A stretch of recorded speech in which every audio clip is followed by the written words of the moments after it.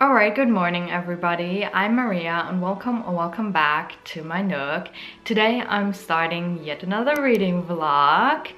Recently I've been reading a lot of Veronica Speedwell and that is a series by Deanna Raybourn. I've recently finished the third book in the series, A Treacherous Curse and it's a historical fiction with mystery and a bit of romance.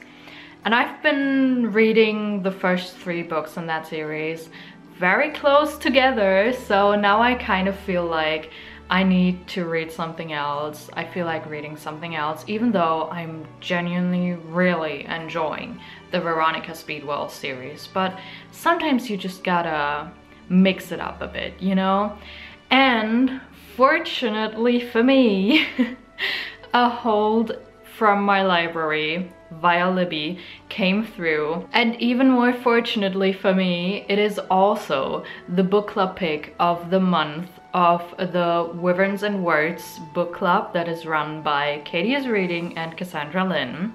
So that means I can already read it and hopefully take it off my July TBR, you know? Which is always great to be ahead of the schedule sometimes, you know? And the book I'm talking about, by the way, is The Girl Who Fell Beneath the Sea by Axie O. I hope I did not completely butcher the name of the author. This book, I believe, is based on Asian folklore or Asian myths or something like that. I'm not incredibly informed about it, but I have read the synopsis to this book and I have also already read the first two chapters, which means I'm... Why did I show three? Two.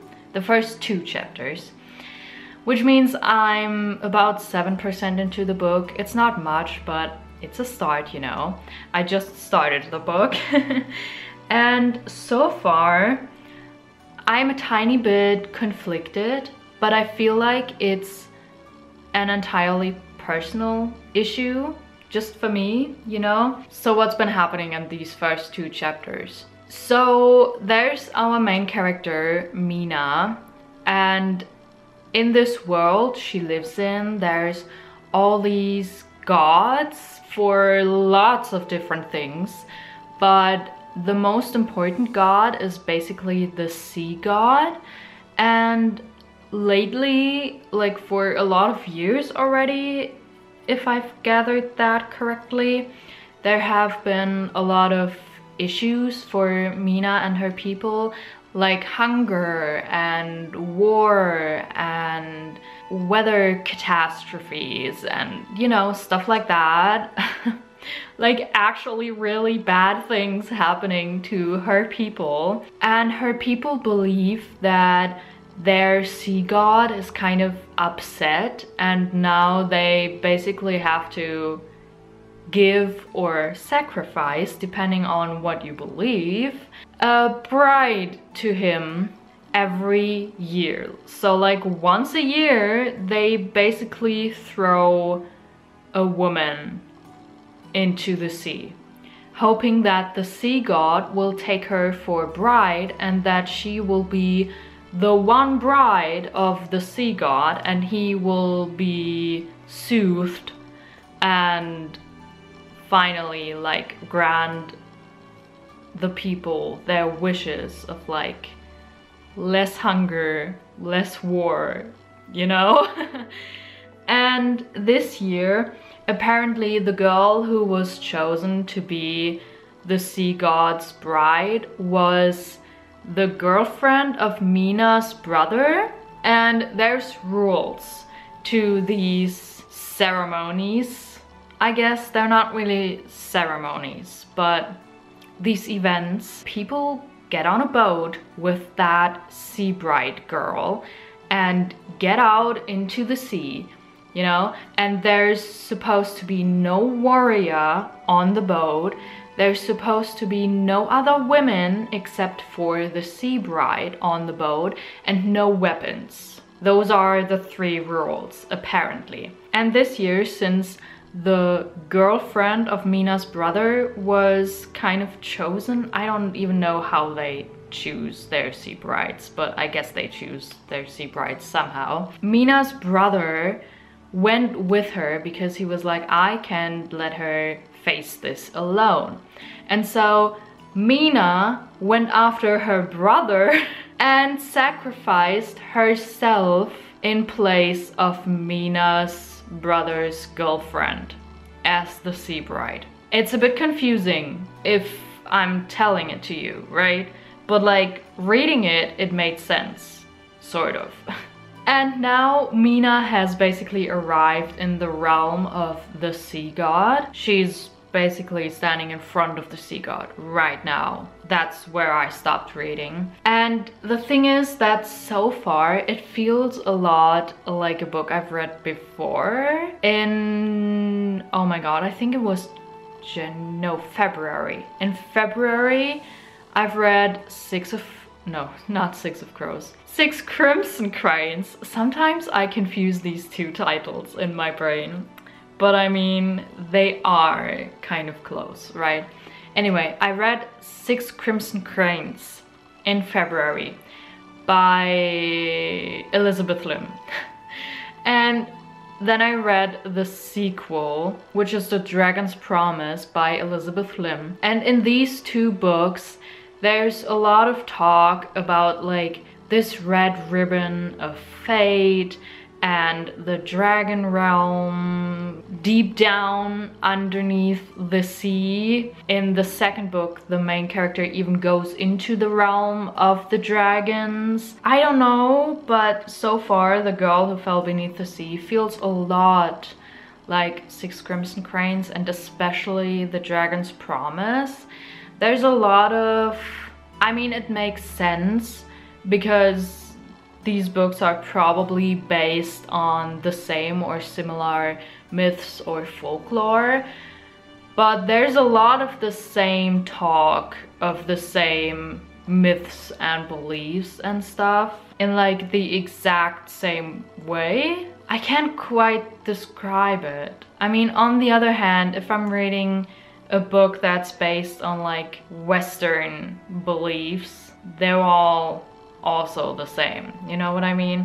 So it makes sense, but I don't know, just with this plot and the combination of that plot and these myths, I don't know, it just feels so similar to me so far. I'm only at chapter 2, maybe I shouldn't judge so quickly. Maybe I will still enjoy the book for it being its own book. I'm also not quite sure about the writing style yet because I don't know what it is, but in some points it feels so simple and in other points it feels more flowery and poetic and I'm like, this is kind of an odd mix, but maybe I'll just need to get used to it. So I think those are all of my first impressions on this book and I'll keep reading and hopefully enjoy it. I'll probably update you again once I've read a decent amount.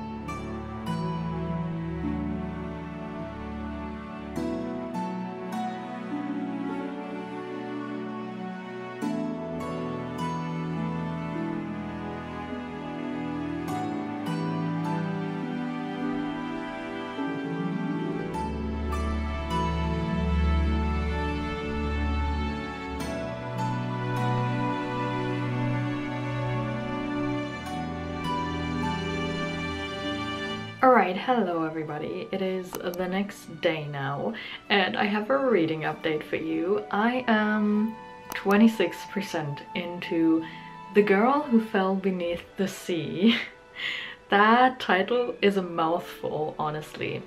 But I'm a few pages into chapter 10 by now and I think I've been turned around. My opinion has been turned around on this book. I know I said at the beginning that it feels very similar, maybe even a bit too similar to Six Crimson Cranes and The Dragon's Promise by Elizabeth Lim and I didn't really feel like wanting to read a book that felt just like a book I had already read, you know? But the book is definitely different and it's definitely its own story, which I'm very happy about.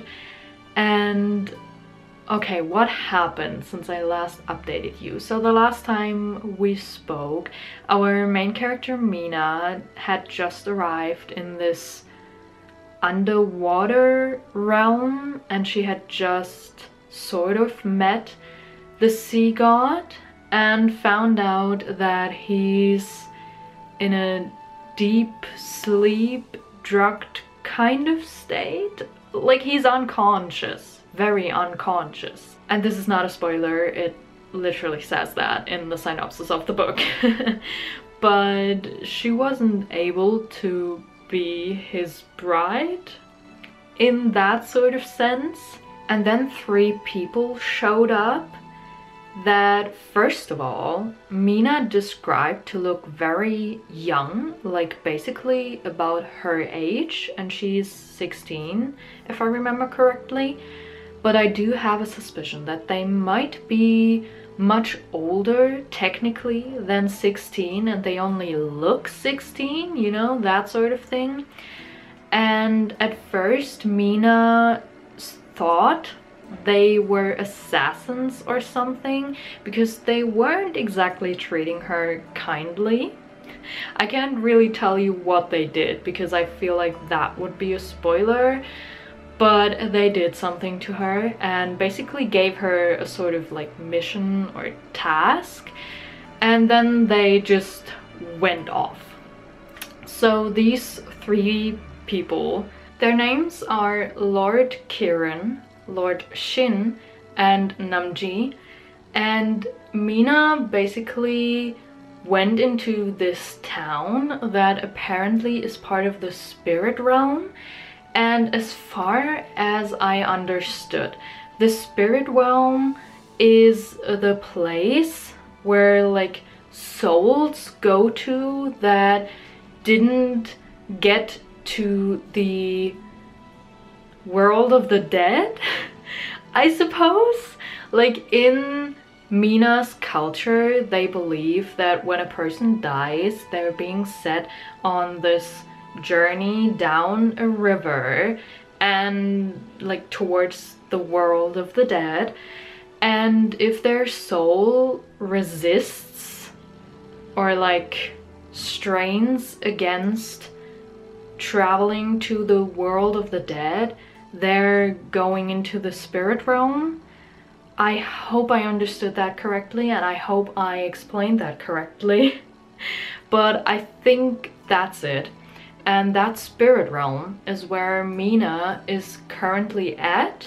In that town, she met townspeople, basically, like spirits, and they explained a few things to her and told her a few things. The townspeople told her that the three people Mina met are in fact not assassins, like apparently they're lord, two of them are lords, and one of them was being called a thief by one of the townspeople.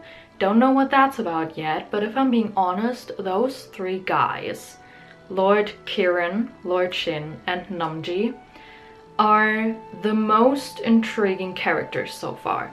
Like, they're so mysterious, kind of.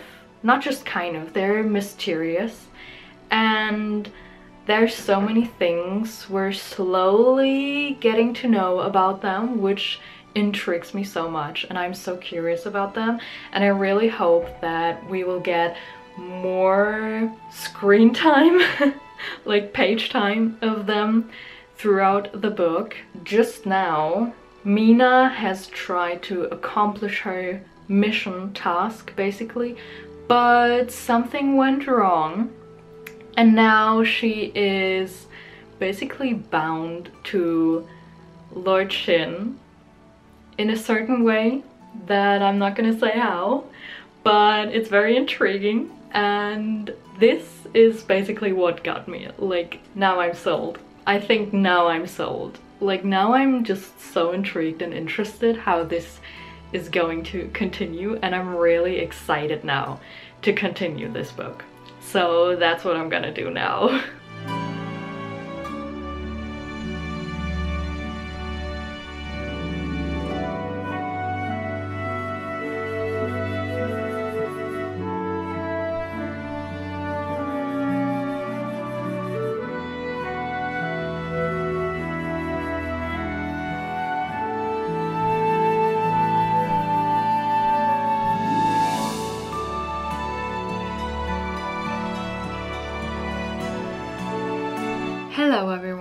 it is three days later since I last updated you and I would say I've made some good reading progress. I'm now a little bit over halfway through The Girl Who Fell Beneath the Sea.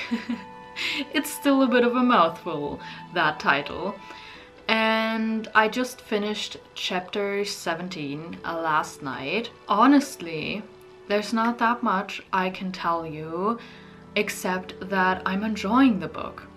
I don't quite know what it is about the book, but it's so sort of like whimsical and the vibes, there are these vibes, you know what I mean?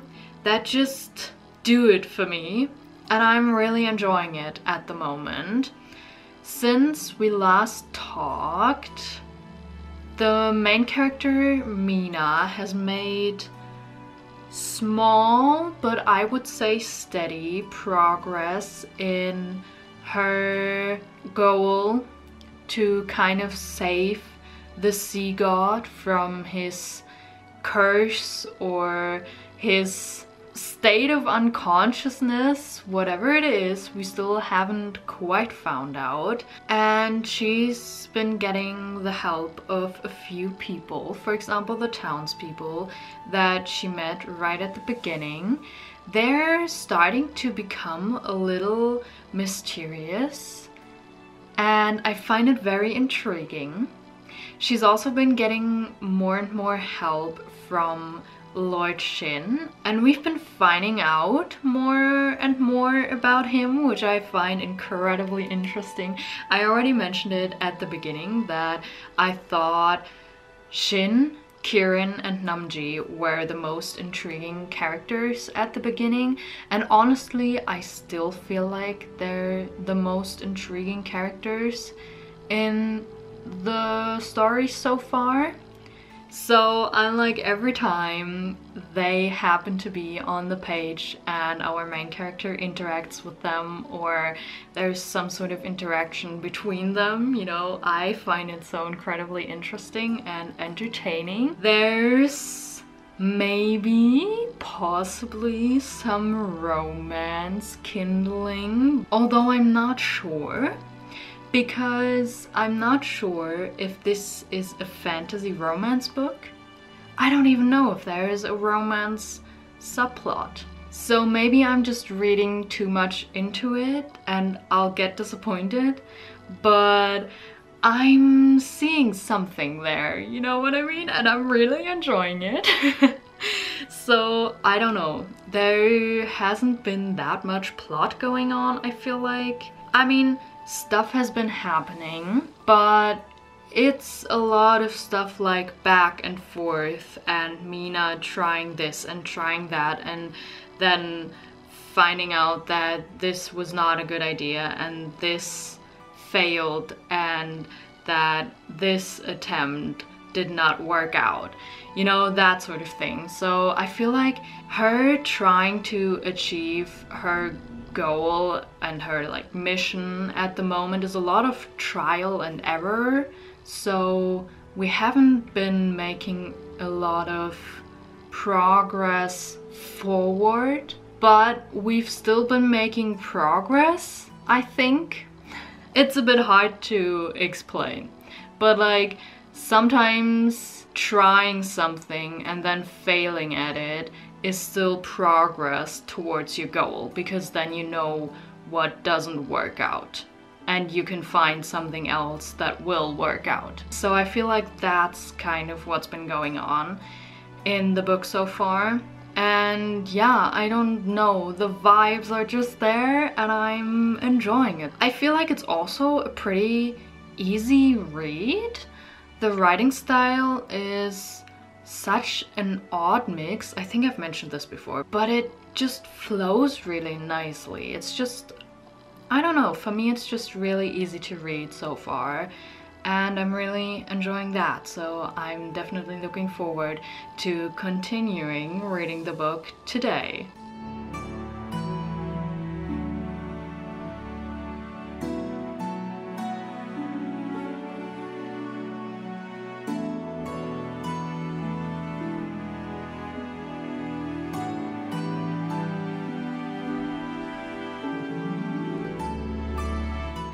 Everybody, I am here to wrap up this vlog because I have indeed finished The Girl Who Fell Beneath the Sea by Axie O.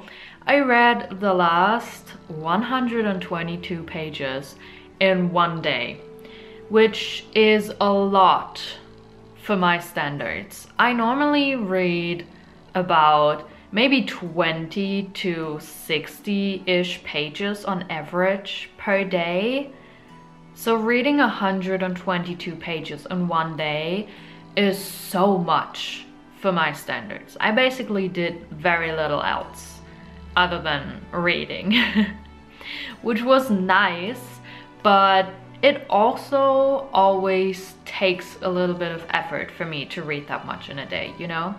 But I just kind of wanted to finish the book. Not because it was a bad book, but I feel like lately I'm really feeling this whole too little time, too many good books thing. It's just that I have so many books on my TBR and so many good books I really want to get to that even when I'm reading a book I'm enjoying, I'm like, I want to have this done so I can get to the next book I will be enjoying, hopefully. And maybe I'm stressing myself out a little too much. I don't know. It is what it is, I guess. I'm trying not to be too hard on myself when I'm taking a bit longer to finish a book. But yeah, sometimes I'm just like, oh my gosh, I've already taken seven days to finish the book, which is like totally fine but my brain, you know. anyway, a few conclusive thoughts on The Girl Who Fell Beneath the Sea. I have talked about it with other people since this was a book club pick and I've mentioned this at the beginning, I believe, that it felt a lot like Six Crimson Cranes by Elizabeth Lim to me at the beginning. And now I've heard from other people that they have felt the same way, which I'm very glad about, that it wasn't just me. But the book soon became very different and I really enjoyed that. It was a very fast-paced book in my opinion and really easy to read which I definitely liked. On the other hand it felt a little bit too easy or too light sometimes. A lot of things and plot twists were rather predictable in my opinion.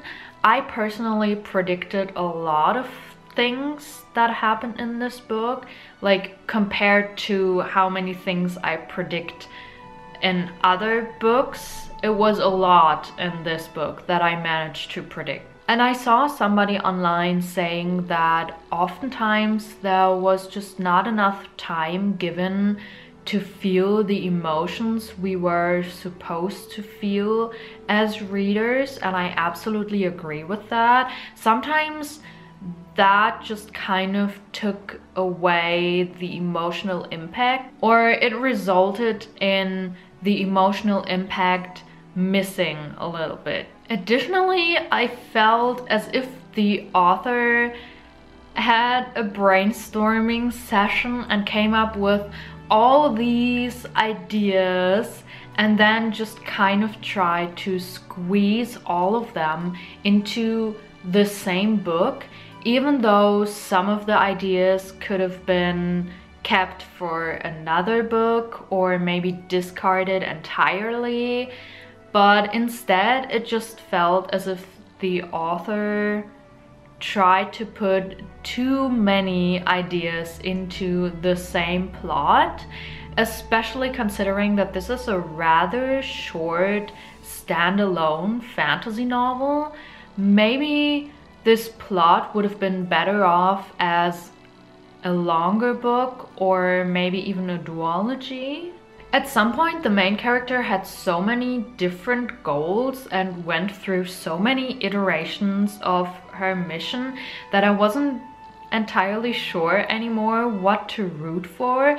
And the last like 25% of the book, lowkey felt a bit like a fever dream with everything that happened. It might have been impacted a little bit by me reading so much of the book in a single day, which again is not the usual case for me, but there was just so much happening in the end. And at some point I was like, does this plot ever end? Oh my gosh.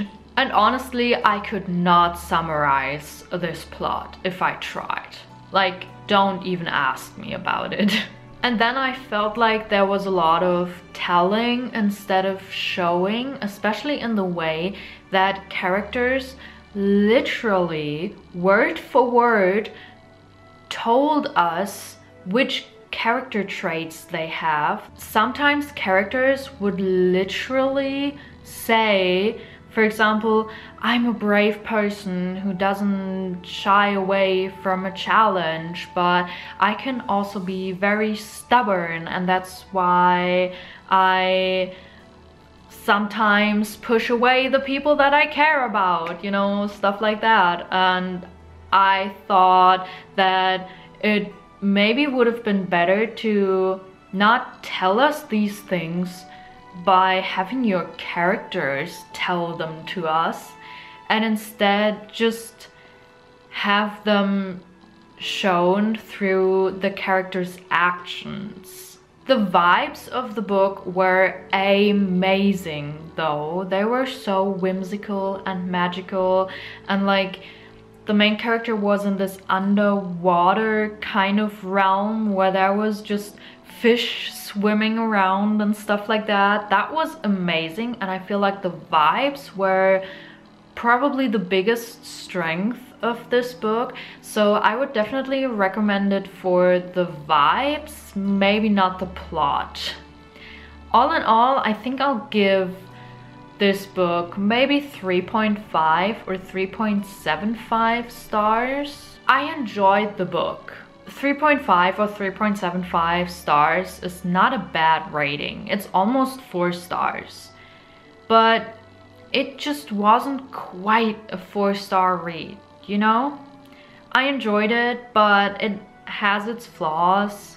So yeah, I would recommend it if you're in for vibes.